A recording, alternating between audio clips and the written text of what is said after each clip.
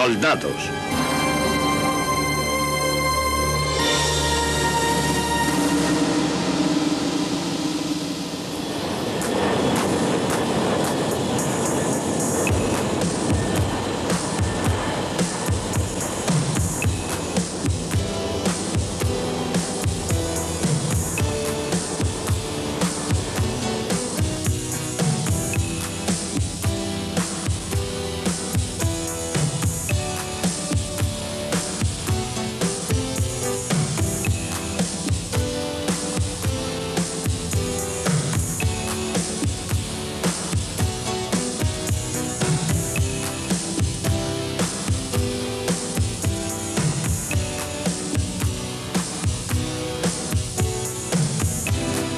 Los músculos de la guerra.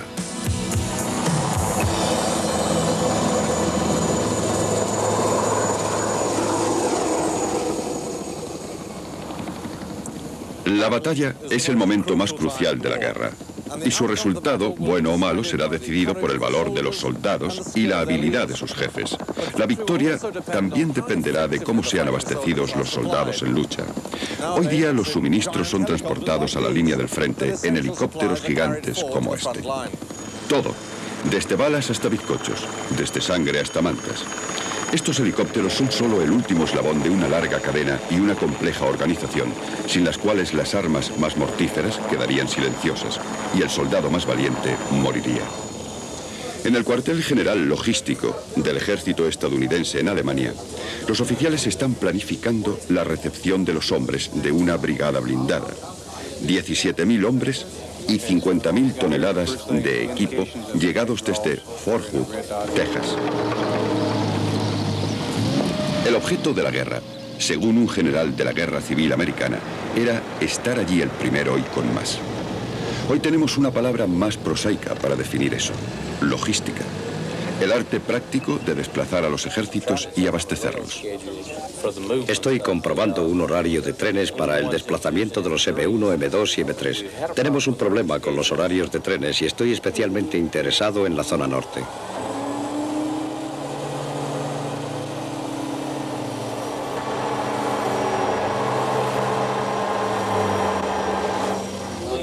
Un ejército moderno es un trabajo enorme, como mover una pequeña ciudad con todos sus servicios. Todo, desde almacenes y talleres hasta sanatorios, cines y tiendas. Por tierra, mar y aire se reúne el vasto y mortífero inventario de un ejército del siglo XX. Este es el horario. La atención al detalle es vital para hacer que todas las piezas del complejo rompecabezas guerrero encajen en el tiempo y lugares justos.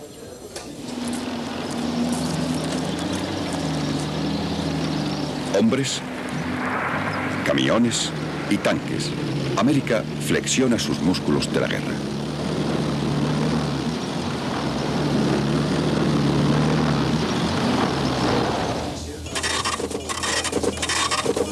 Dice que esta unidad viene con solo la mitad de la fuerza de la que estaba programada.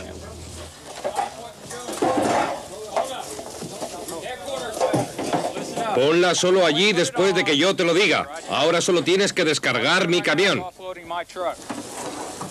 En el siglo XIX, casi todos los hombres uniformados estaban desplegados dentro del alcance de los cañones enemigos. Hoy el trabajo de suministro se ha hecho tan amplio que muchos soldados nunca ven el frente. En Vietnam, solo uno de cada siete soldados se vio realmente envuelto en combate. Por muy complejo que sea el uso de la tecnología, en cierto aspecto, un ejército de hoy es como cualquier otro de la historia. Según la famosa frase de Napoleón, marcha sobre su estómago.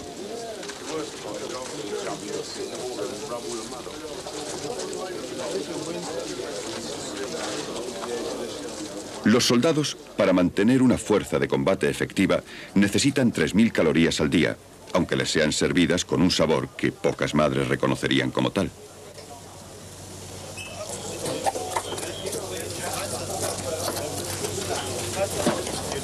Estás tirando más al suelo de lo que dejas en la mesa. Espera un momento, mira. Se corta así. Cuidado con los dedos, que los necesitarás. Asegúrate de que lo mueves bien y de que todos los ingredientes están arriba. Si no se van a quejar, dale su ración completa. Obviamente, La falta de comida tiene un efecto físico en el cuerpo de un soldado, pero tiene un efecto igualmente dañino en su moral. El hambre ha acelerado derrotas con mucha frecuencia en la historia, así que un general inteligente se preocupa mucho de que su tropa esté bien alimentada. He estado allí y me han dicho que en el próximo envío de las ocho esperan lo que falta de pilote más el suyo, así que deberán tener como unos 6.000. Creo que llegaremos a superar los 25.000 barcos, pero de todos modos no hay problemas. Durante buena parte de la historia, la alimentación de sus soldados fue uno de los mayores problemas de un general. Y era un problema que crecía conforme el tamaño de los ejércitos se incrementaba. Eduardo III, en su camino a Crecy, encontró difícil alimentar a sus 11.000 hombres. En el apogeo de la Guerra de los 30 años, en el siglo XVII, el rey sueco Gustavo Adolfo II y su oponente Wallenstein tenían cada uno ejércitos de 100.000 hombres.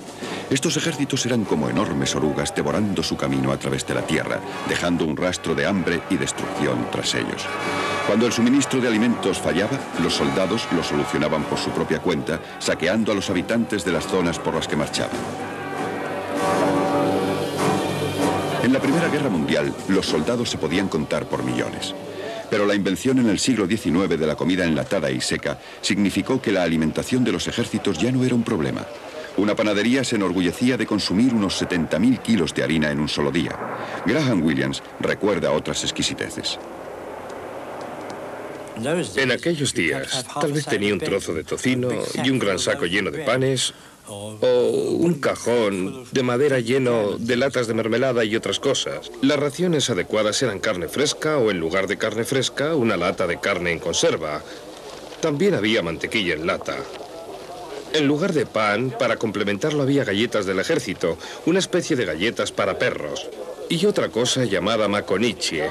Era una ración de carne de buey y verduras en lata. Calentándolo no sabía muy mal, pero había un tipo en nuestra sección al que le gustaba frío, un sabor de lo más repugnante. En nuestro batallón nunca teníamos leche para nuestro té. Había un terrible desperdicio de comida. Especialmente había montones de queso, mucho más del que necesitábamos realmente. Había siempre un montón de aquel desperdicio y en particular latas de carne. En muchos casos el fondo de las trincheras era tan fangoso que se ponían latas de carne como una especie de pavimento. Una notable característica de la Segunda Guerra Mundial fue la capacidad de los aliados para alimentar y abastecer tropas en cualquier parte del mundo. Pero lo que el soldado inglés quería era té. Un enfermero pensaba que los cinco principales elementos antes del choque de la granada eran una taza de té y cuatro terrones. Pero cuando los soldados no logran tener su comida regular, revierten a los métodos de tiempos pasados. Íbamos mal de comida y llegamos a una aldea, a una pequeña aldea. Nos aseguramos bien de que allí no hubiera tropas. Vigilamos bien por todas partes. Normalmente tratábamos de rodear los pueblos. Llegamos allí y había unas cinco o diez familias viviendo en unas pocas casas. Nosotros llegamos allí con nuestras armas. Ellos no tenían. Y también estaban hambrientos. Tenían muy poco para comer. Había sobre todo mujeres y niños. La gente estaba hambrienta y hacía mucho frío. Bueno, les quitamos todo. Cuando estábamos en unidades y no podíamos conseguir comida, nos metíamos en los pueblos y cogíamos todo lo que podíamos. Cuando encontrábamos un animal que a veces los rusos habían escondido en alguna parte, un cerdo, pollos o lo que fuera, nosotros lo matábamos todo. Creo que uno se hace despiadado cuando pasa hambre y mira solo por sí mismo.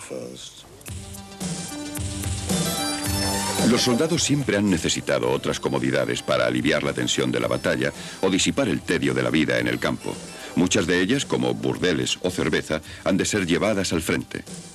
Así que la paga regular ha sido siempre esencial para mantener un ejército contento.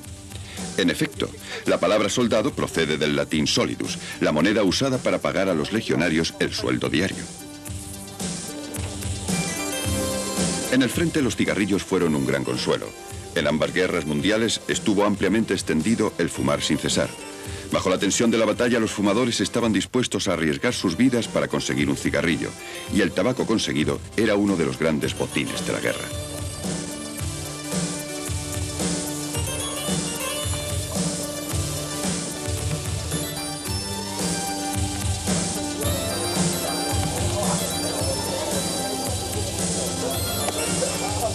Una buena moral depende de unos buenos suministros. El ejército de los Estados Unidos se ha enorgullecido de su capacidad de cuidar a sus soldados donde quiera que estén. En Vietnam, las posiciones avanzadas eran abastecidas por helicóptero, regalos de casa, correo e incluso periódicos. Claro está que había veces en que la abundancia y variedad del abastecimiento eran casi una molestia. La lluvia era tan frecuente que los helicópteros, si trataban de aterrizar, se hundirían en el barro, por tanto, no podían hacerlo. Se ponían a unos 10 metros del suelo y empezaban a tirar los suministros. Lo que estaban tirando eran cajas de cartón con uniformes nuevos. Puedo recordar que estuvimos 80 días sin una comida decente. Un helicóptero llegó con un suministro, pero lo que nos lanzaron fue lo que llamamos raciones PX, que contienen chocolatinas, papel higiénico, cigarrillos y cosas así. Ni un trozo de pan, ni tampoco café.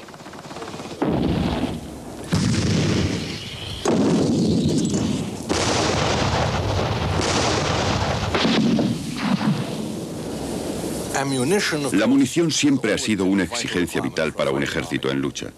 Pero para los primeros ejércitos, el suministro de municiones era un problema menor que el de los alimentos.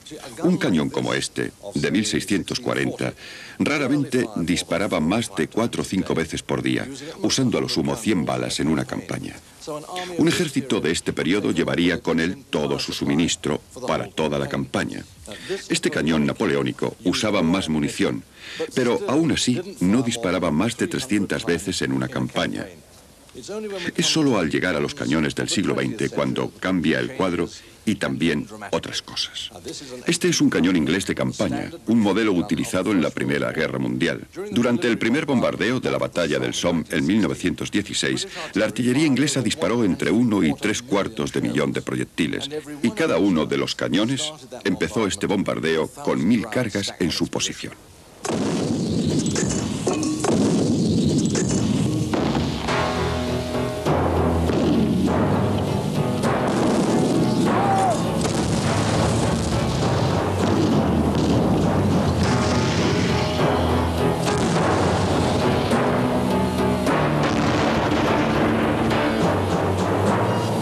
Primera Guerra Mundial, la munición superó a la comida como el artículo más suministrado a las unidades en el campo. En 1916, una división en el frente requería 20 vagones de comida al día, pero 30 de municiones.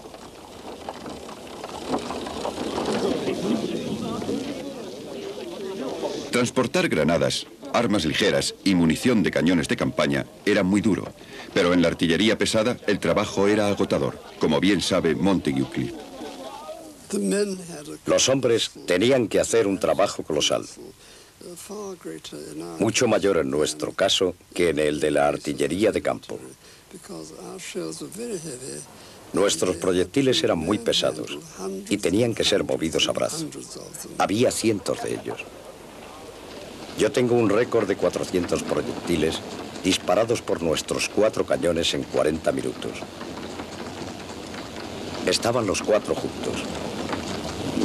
No solo entonces, sino cuando la munición tenía que ser repostada desde los camiones de atrás.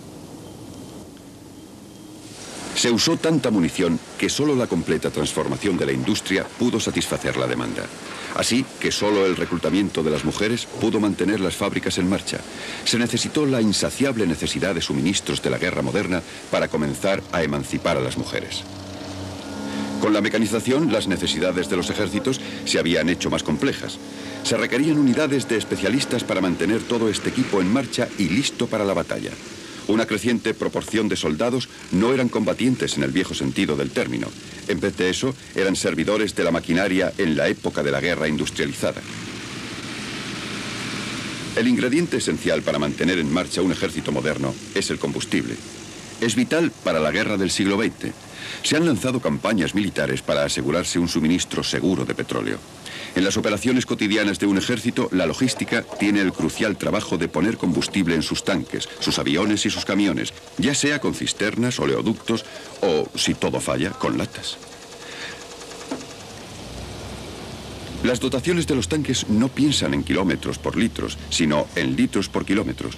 Un moderno tanque de batalla tiene una media de 10 litros por cada kilómetro y medio en carretera, pero moviéndose a velocidad de campo a través, subirá su consumo a 15 litros.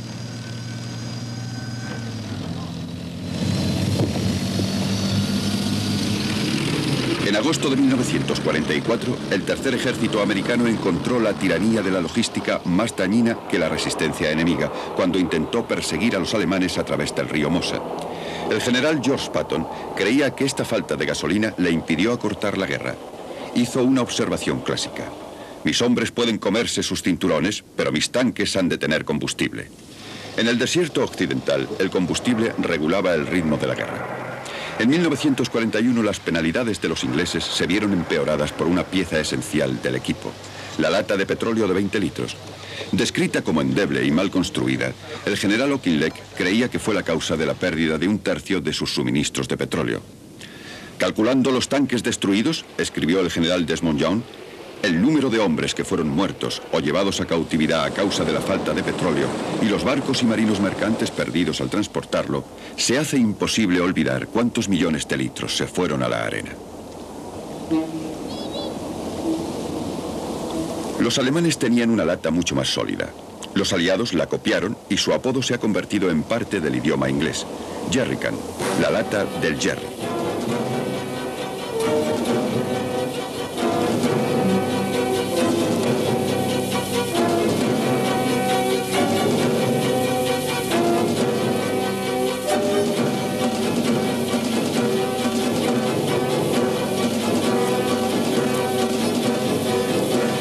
Segunda Guerra Mundial acentuó el fuerte lazo entre poder militar y músculo industrial. La tremenda fuerza de América fluía de sus fábricas y la envergadura de su producción de guerra fue enorme. En el apogeo de su producción, en 1944, fabricaron 2 millones de camiones, 100.000 aviones, 84.000 tanques y 7.500 locomotoras.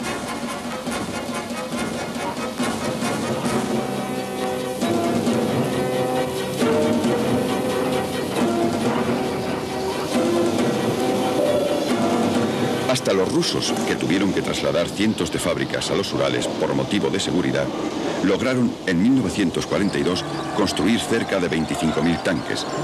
Algunas de aquellas fábricas hacían un T-34 en solo 30 horas. Para Alemania su causa estaba perdida. En el mejor de los casos solo podían producir 19.000 tanques al año. Bueno, tenemos 26 barcos, 4.300 pasajeros, 1.800 vehículos y 800 remolques que llegarán a lo largo de las próximas 24 horas.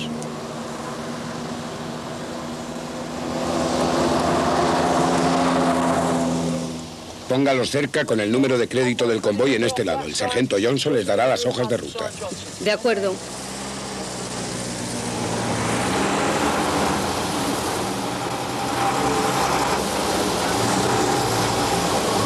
Abastecer un ejército, y especialmente uno moderno, con sus exigencias, es una tarea enorme.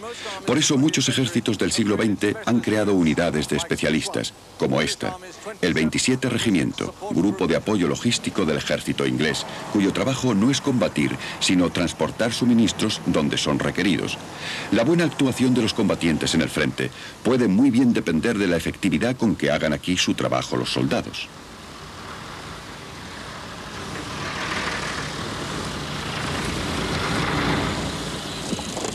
Durante siglos, los ejércitos tuvieron que confiar en el carro para transportar los suministros. Era lento y engorroso, y en los atroces caminos de la época significaba que rara vez podían viajar más de 15 kilómetros al día. El tamaño del tren de bagajes creció rápidamente. En el siglo XVI, un ejército de 24.000 hombres tenía 3.000 hombres para acompañarlo, pero ni siquiera una columna de este número podía transportar bastantes alimentos para mantener a todo el ejército. Pronto los soldados se vieron obligados a vivir del terreno y a menudo el ejército degeneraba en poco menos que una chusma. Las cosas se ponían mucho peor si la marcha se hacía a través de un país ya agotado por la guerra. Entonces los soldados y los civiles pasaban hambre juntos. La conducción de una campaña estaba gobernada por los problemas de transportar suministros y el general victorioso era el que los dominaba. En la campaña de Austerlitz, en 1805, Napoleón llevó más de 200.000 hombres y cerca de 400 cañones a través de Europa, desde la costa del canal hasta lo que es ahora Checoslovaquia. Sus regimientos se desplazaban dispersos para no agotar el país y sus unidades de transporte iban y venían llevando alimentos y munición en la retaguardia del ejército. Este dominio de la logística fue un factor en su victoria. En 1813, Wellington condujo a su ejército contra los franceses en España, donde se decía que un ejército pequeño podía ser derrotado y uno grande se moriría de hambre. Una agricultura pobre y un terreno desolado significaban que el ejército de Wellington no podría vivir de la tierra. Pero al asegurarse el acceso a los puertos próximos, podía importar todos los suministros que necesitaba para echar a los franceses de la península. Incluso en este siglo los caballos y las mulas han seguido siendo esenciales. En la Primera Guerra Mundial los ejércitos no habrían sobrevivido sin ellos, y lo mismo que se llevó miles de hombres jóvenes hacia el ejército, también vació los establos de Europa. Solo el ejército alemán necesitó 84.000 caballos. Los alemanes hicieron un amplio uso de los caballos, incluso en la Segunda Guerra Mundial. Sus divisiones de infantería reposaban como hicieron durante siglos en carretas tiradas por caballos, porque sus divisiones, Panzer, monopolizaban todo su transporte motorizado. Lo que impresionó a muchos soldados aliados en Normandía no fue la visión de alemanes muertos, sino esto.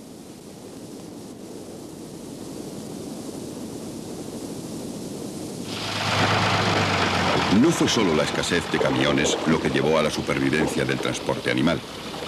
Cuando el terreno y el clima resultaban imposibles, los caballos y las mulas funcionaban. Por ejemplo, en Birmania, el transporte por carretera convencional era inútil. El único camino era el que se abría a machetazos en la jungla. Las mulas podían seguir a los soldados por todas partes. Fueron muy útiles en las operaciones contra los japoneses, como recuerda Cyril Boldock. Las pequeñas llevaban cerca de 50, 75 kilos o quizá un poco más. Y las grandes probablemente unos 100. Llevaban de todo, desde picos y palas hasta suministros médicos, municiones y lo más importante de todo, la radio sin la cual no habríamos podido conducir la campaña ni ser reabastecidos. El terreno que cubrimos durante aquellas operaciones variaba desde el llano hasta la región montañosa, donde las laderas eran casi verticales y estas no siempre estaban secas. A veces eran muy fangosas y resbaladizas. En algunas ocasiones, en esta clase de marcha no se podían manejar las mulas de forma normal.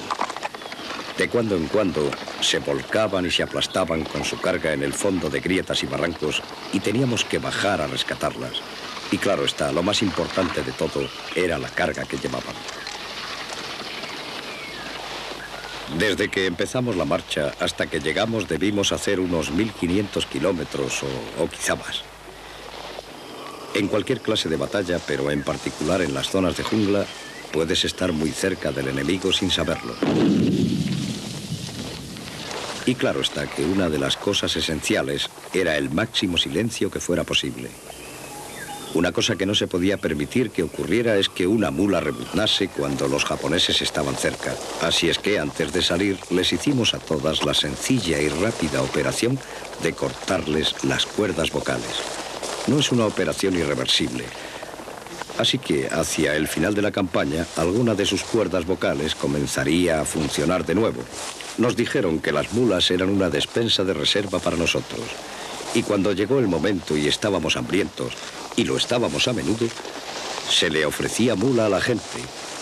Recuerdo que nunca nos comimos ninguna. Preferíamos pasar hambre antes que comérnoslas.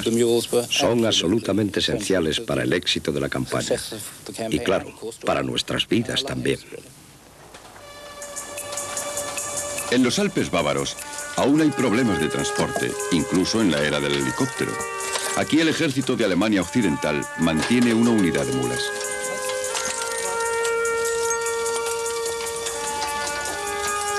Estas mulas, en una extraña fusión de lo antiguo y lo moderno, llevan misiles antitanque Milán. Es una forma de transporte en la que se puede confiar en todas las estaciones.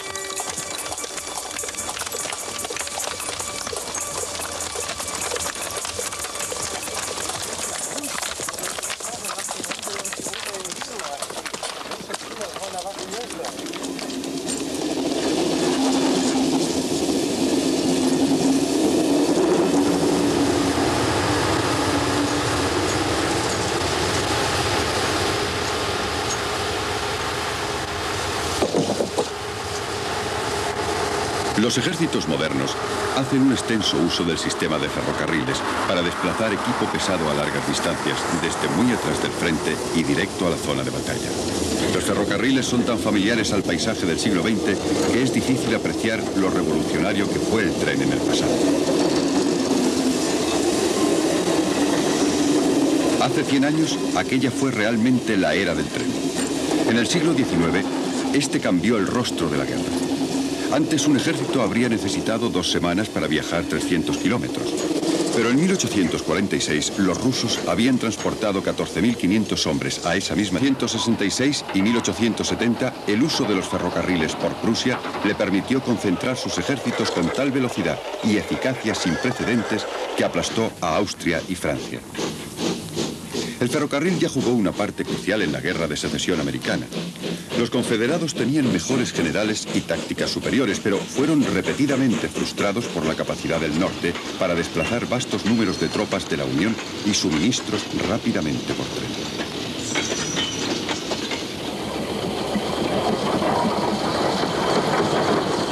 En 1914, la movilización fue controlada por el horario de los trenes. Los alemanes eran expertos en el uso militar del ferrocarril y en el apogeo de su movilización salía un tren desde Colonia cada minuto. En la Segunda Guerra Mundial, un sistema europeo de doble vía podía transportar una carga igual a la que llevaran 1.600 camiones. El sistema viario en Rusia, sin embargo, estaba planeado para ponerle dificultades a cualquier invasor. Solo el material circulante en Rusia podía ser usado en los raíles rusos. Cuadrillas alemanas tuvieron que convertir todo un sistema de vías. Las vías férreas en Rusia tenían un ancho mayor y tan pronto como ocupábamos una línea de ferrocarril, las tropas ferroviarias golpeaban los raíles hasta hacerlos como los alemanes. Pero los ferrocarriles son vulnerables y los partisanos rusos hicieron de los trenes de abastecimiento alemanes su principal blanco. Hacia el final de la guerra, los partisanos eran más efectivos y llegaban menos suministros de combustible y municiones. El fracaso al no reconocer la importancia de los ferrocarriles tendría un efecto desastroso en el plan de invasión alemán y fue un factor fundamental en su derrota. Cuando llegaban los suministros, aún tenían que ser transportados desde las terminales hasta el frente, y era el camión el que tenía que proporcionar el último eslabón en la cadena de abastecimiento. Fue durante la Primera Guerra Mundial cuando el camión comenzó a imponerse al caballo, y llegó el momento en que su contribución cambió la historia.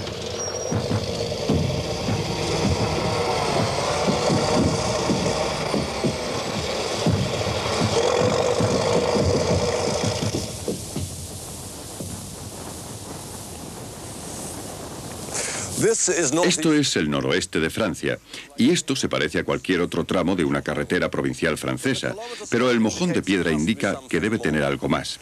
En efecto, es la carretera de la ciudad francesa de Verdun, desde el pueblecito de Bar-le-Duc, 30 kilómetros atrás. Las palabras cuentan la historia. Esta es la Bois Sacrée.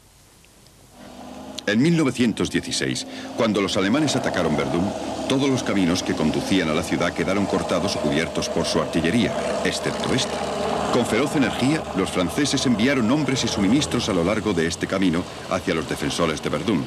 Cada 14 segundos pasaba un camión por este punto llevando suministros de comida, municiones y soldados. Se dice que sin el motor de combustión interna, Verdún no habría sobrevivido. La Bois o Vía Sagrada, permanece como un monumento a aquellos camiones y a los hombres que los conducían.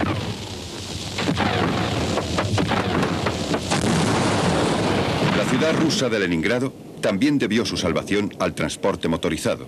En 1941 fue sitiada por los alemanes y faltó la comida cuando llegó el invierno. El enorme lago Ladoga, tras Leningrado, se heló y los rusos construyeron una carretera sobre el hielo. Postes de control de tráfico fueron levantados a lo largo de la ruta. Los camiones marchaban noche y día a una distancia de 330 kilómetros, sin espacio para el error en la carretera de hielo. Una rebanada de pan era la ración diaria para el pueblo de Stalingrado. Durante el asedio perecieron alrededor de 800.000. Cuando los camiones rusos se desplazaron a través de la carretera de hielo, la Luftwaffe trató de obstruir el sustento de Leningrado.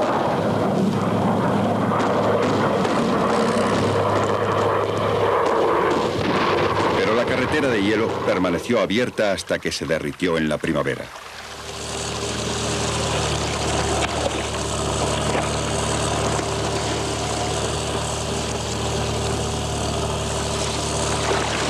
Leningrado fue al fin liberada en 1944, pero fue la carretera de hielo de aquel invierno lo que la salvó. El transporte motorizado de hoy parece tener un papel menos dramático que el jugado en la Bois Sacré o la carretera de hielo. Sin embargo, si los soldados han de recibir los suministros que necesitan para permitirles vivir y pelear, entonces las principales rutas de suministros tras ellos, carreteras, puentes, ferrocarriles, deben permanecer abiertas. Sin este cordón umbilical de suministros, las esperanzas de victoria de un ejército son bastante limitadas.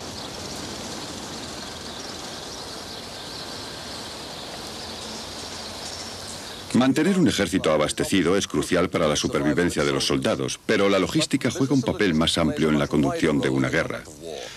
Logística es la parte de la ciencia militar que atiende la marcha de las tropas en campaña. 130 años separan dos fuerzas especiales que envió fuera Inglaterra, una a Crimea, la otra a las Islas Malvinas. Tenían una cosa en común.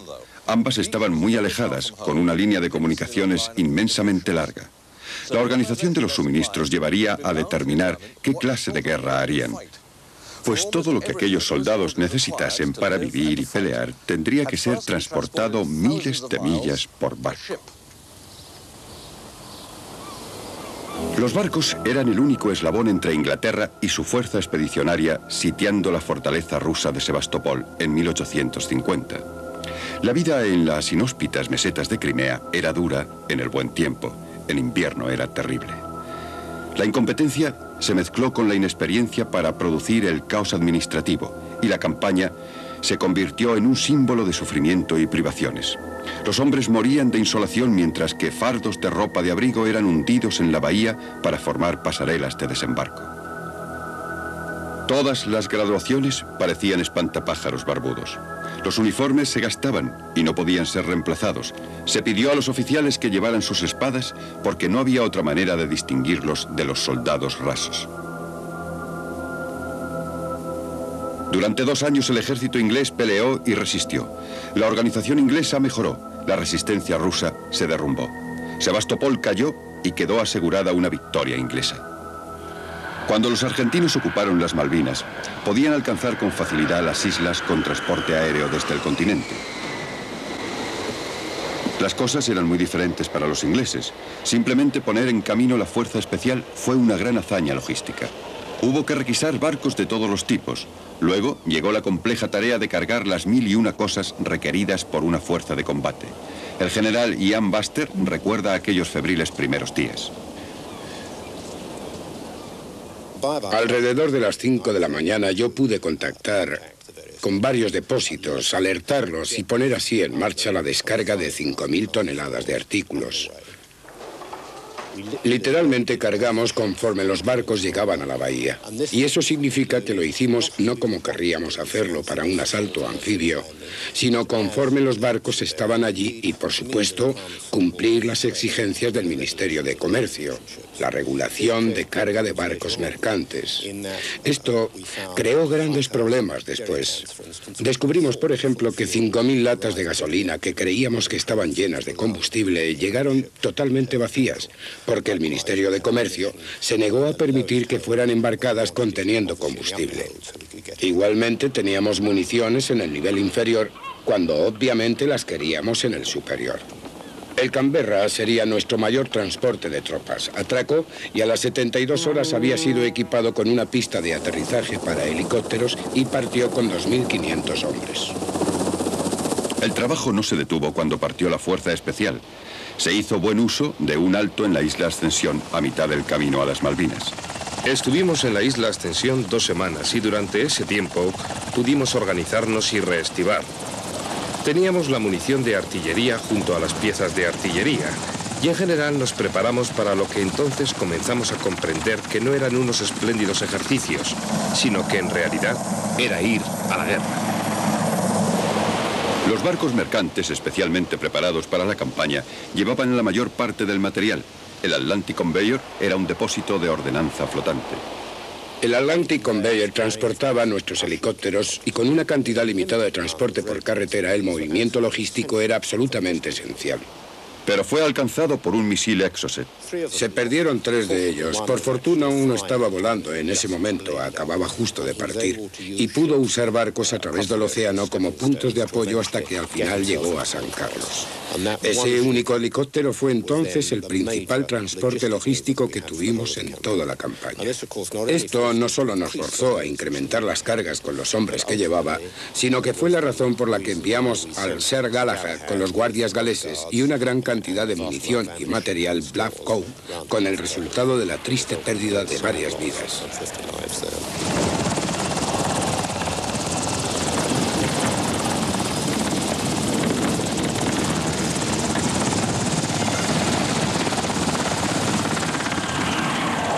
Sorprendentemente no atacaron los coloreados ferries ingleses situados aquí en San Carlos, ni al Canberra, como una gran ballena blanca, el blanco principal que llevaba nuestros hombres y nuestros suministros. En su lugar eligieron con mucho valor atacar la Real Escolta Naval, los barcos artilleros, y en efecto hundieron y dañaron a dos de ellos. Si los argentinos dirigen sus ataques a nuestros barcos almacén a 8.000 millas de casa y perdemos uno de aquellos barcos, entonces habríamos tenido un gran problema. Cuando los de logística tienen grandes problemas, los soldados sufren, y si el terreno y el clima conspiran contra ellos, mueren. En 1812, 250.000 soldados de Napoleón perecieron helados y hambrientos entre las nieves de la Rusia occidental durante la retirada de Moscú. Había calculado mal, fatalmente mal, el invierno ruso. El mismo terreno no fue más amable con los alemanes 130 años después. El soldado de los ejércitos invasores descubre a su costa que no ha sido equipado adecuadamente para los rigores del invierno ruso. Incluso nuestra unidad, que había llegado de Francia, no tenía una buena ropa de invierno. Recuerdo que en el primer invierno yo tenía uniforme de verano y entonces la temperatura debió bajar a 50 grados bajo cero. Hacía mucho frío. Teníamos que pagar el precio por no estar preparados para el invierno ruso. Pasé tres de aquellos inviernos en Rusia y es una experiencia terrible. Estábamos viviendo en un clima muy duro. Nos dijeron que cuando tienes mucho frío y de pronto sientes calor y no hay motivo para sentirlo, es un momento peligroso. Yo tenía un amigo que salió a hacer sus necesidades. Eso era por la tarde. Y a la mañana siguiente alguien dijo, ¿dónde está Helmut? Ese era su nombre, aunque realmente el nombre no importa. Entonces salimos y buscamos a Helmut, y Helmut estaba aún agachado, con los pantalones caídos, en cuclillas en la nieve.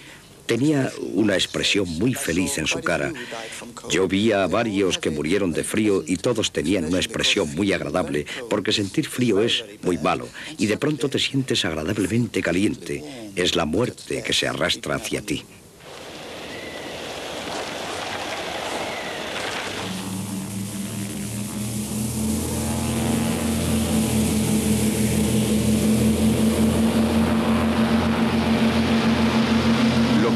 la logística e hizo mucho para el sistema de lucha de un ejército fue la aparición del avión de transporte. Este es probablemente el avión militar más famoso de todos, el Dakota. Sigue fuerte después de 40 años. Este está en servicio en la Fuerza Aérea Israelí. Puede llevar 20 soldados totalmente equipados o dos toneladas y media de suministros. Duro y fiable, puede aterrizar en una tosca pista o soltar su carga con paracaídas. Aviones como este alteraron el curso de campañas como la de Birmania en 1944. El comandante en jefe, Lord Mountbatten, dijo a sus hombres que confiaran en el suministro aéreo. Cuando los japos intenten su viejo truco de ir tras vosotros y cortar las líneas de comunicación, estad tranquilos. Desde ahora no habrá más retiradas.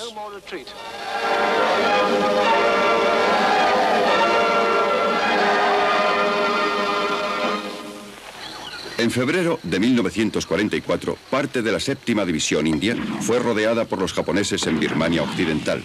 La aviación la tuvo abastecida de alimentos y munición.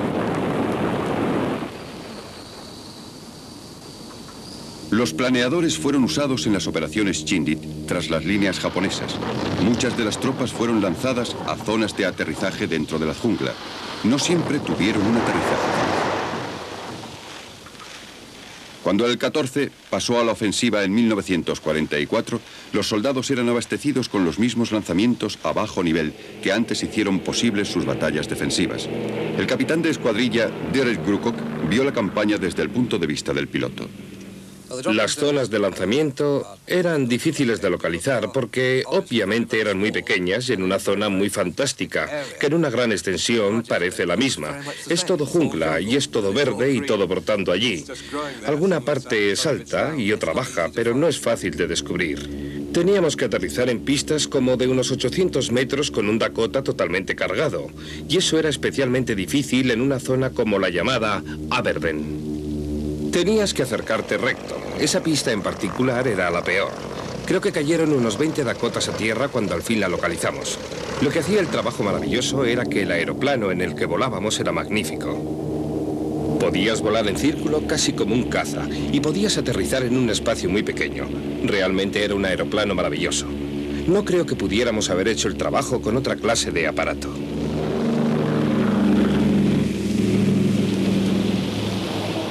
Pero el suministro aéreo tiene sus limitaciones. En 1954 los franceses se aferraban desesperadamente a una posición clave en Dien Bien Phu, en Vietnam.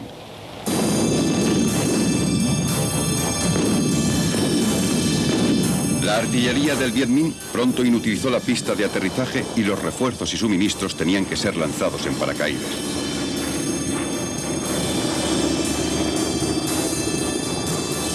Los helicópteros podrían haber ayudado, pero los franceses tenían muy pocos.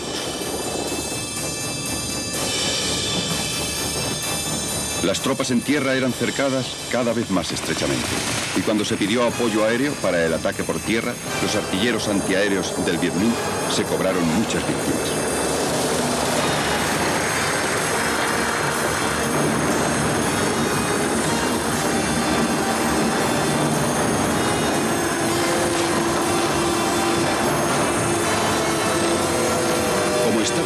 De colinas. Los pilotos franceses llamaban a Dien Bien Phu el orinal.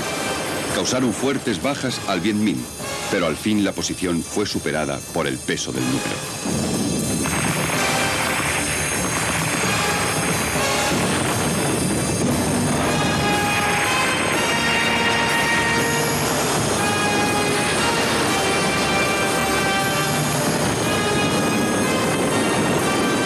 Franceses pagaron un alto precio por su pérdida de apoyo aéreo. Perdieron lo mejor de su fuerza de combate y con ello una colonia. Los Estados Unidos gozaban en Vietnam de una superioridad logística sin igual en la historia de la guerra. A principios de 1968, la base de infantería de marina de combate en Quezon era abastecida solo por aire.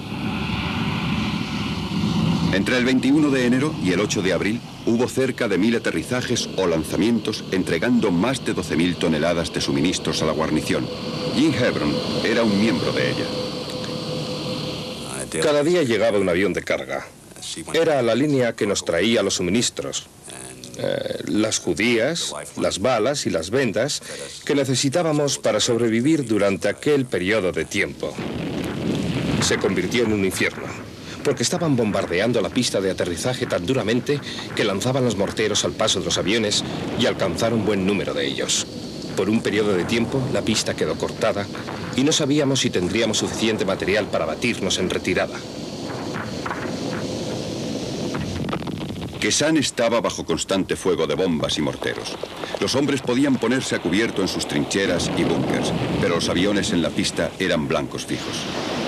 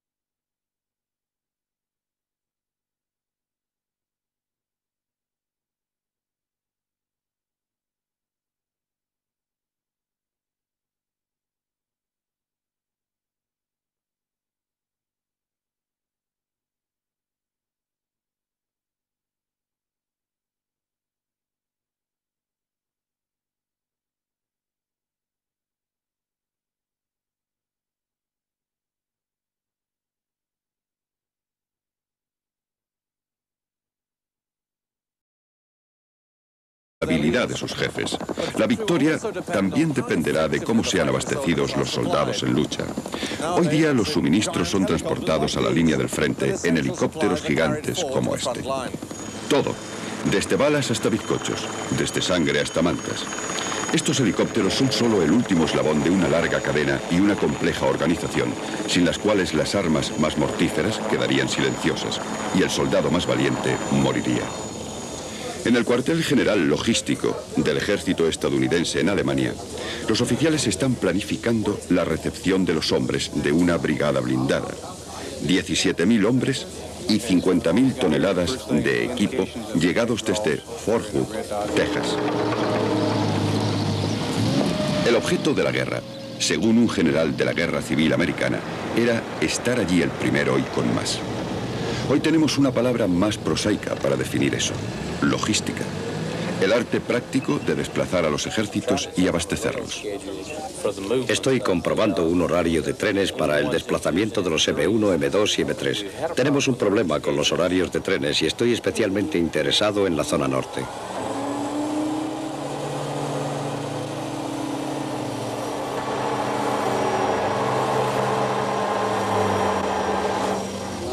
Un ejército moderno es un trabajo enorme, como mover una pequeña ciudad con todos sus servicios. Todo, desde almacenes y talleres hasta sanatorios, cines y tiendas.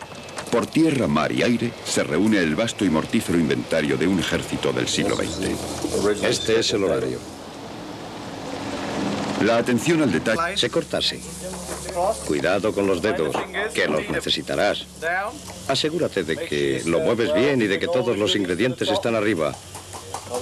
Si no se van a quejar, dale su ración completa. Obviamente, la falta de comida tiene un efecto físico en el cuerpo de un soldado, pero tiene un efecto igualmente dañino en su moral. El hambre ha acelerado derrotas con mucha frecuencia en la historia, así que un general inteligente se preocupa mucho de que su tropa esté bien alimentada. He estado allí y me han dicho que en el próximo envío de las ocho esperan lo que falta de pilote más el suyo, así que deberán tener como unos 6.000. Creo que llegaremos a superar los 25.000 barcos, pero de todos modos no hay problemas. Durante buena parte de la historia, la alimentación de sus soldados fue uno de los mayores problemas de un general. Y era un problema que crecía conforme el tamaño de los ejércitos se incrementaba. Eduardo III, en su camino a Crecy, encontró difícil alimentar a sus 11.000 hombres. En el apogeo de la Guerra de los 30 años, en el siglo XVII, el rey sueco Gustavo Adolfo II y su oponente Wallenstein tenían cada uno ejércitos de 100.000 hombres.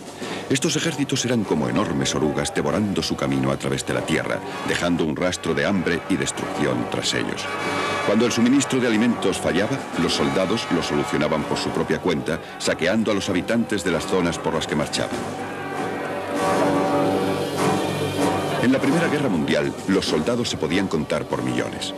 Pero la invención en el siglo XIX de la comida enlatada y seca significó que la alimentación de los ejércitos ya no era un problema. Una panadería se enorgullecía de consumir unos 70.000 kilos de harina en un solo día. Graham Williams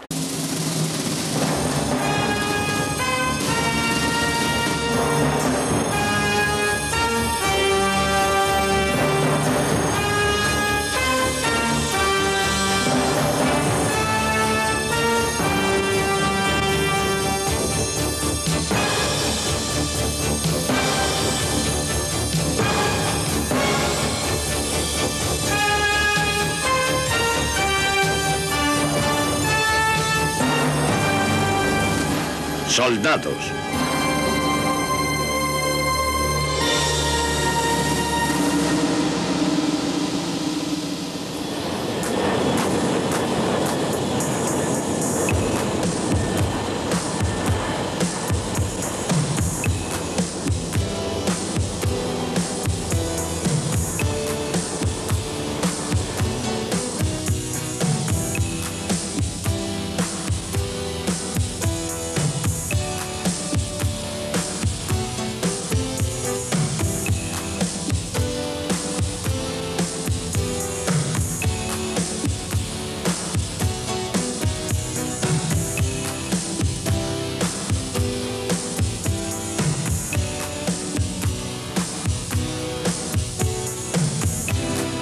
los músculos de la guerra.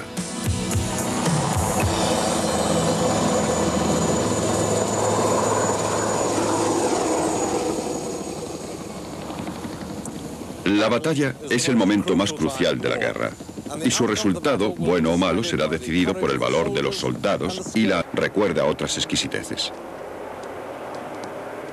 En aquellos días, tal vez tenía un trozo de tocino y un gran saco lleno de panes o un cajón de madera lleno de latas de mermelada y otras cosas. Las raciones adecuadas eran carne fresca o en lugar de carne fresca, una lata de carne en conserva. También había mantequilla en lata. En lugar de pan, para complementarlo había galletas del ejército, una especie de galletas para perros. Y otra cosa llamada maconichie. Era una ración de carne de buey y verduras en lata. Calentándolo no sabía muy mal, pero había un tipo en nuestra sección al que le gustaba frío, un sabor de lo más repugnante. En nuestro batallón nunca teníamos leche para nuestro té. Había un terrible desperdicio de comida. Especialmente había montones de queso, mucho más del que necesitábamos realmente. Había siempre un montón de aquel desperdicio y en particular latas de carne. En muchos casos el fondo de las trincheras era tan fangoso que se ponían latas de carne como una especie de pavimento.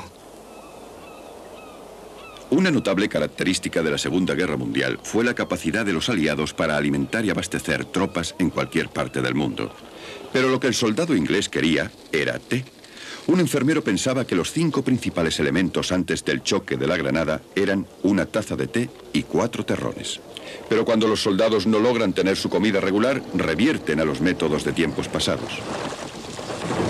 Íbamos mal de comida y llegamos a una aldea, a una pequeña aldea. Nos aseguramos bien de que allí no hubiera tropas. Vigilamos bien por todas partes. Normalmente tratábamos de rodear los pueblos. Y es vital para hacer que todas las piezas del complejo rompecabezas guerrero encajen en el tiempo y lugares justos.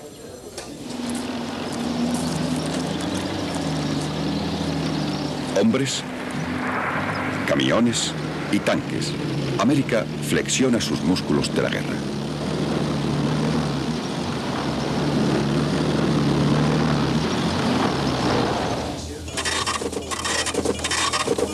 Dice que esta unidad viene con solo la mitad de la fuerza de la que estaba programada.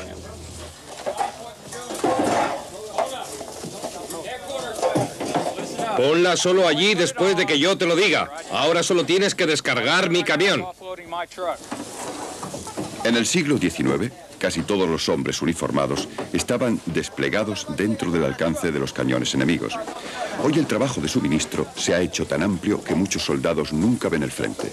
En Vietnam, solo uno de cada siete soldados se vio realmente envuelto en combate. Por muy complejo que sea el uso de la tecnología, en cierto aspecto, un ejército de hoy es como cualquier otro de la historia. Según la famosa frase de Napoleón, marcha sobre su estómago.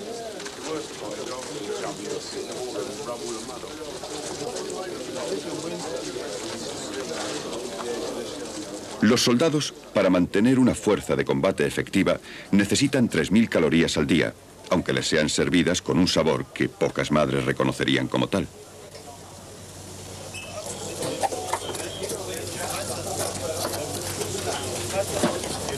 Estás tirando más al suelo de lo que dejas en la mesa. Espera un momento, mira.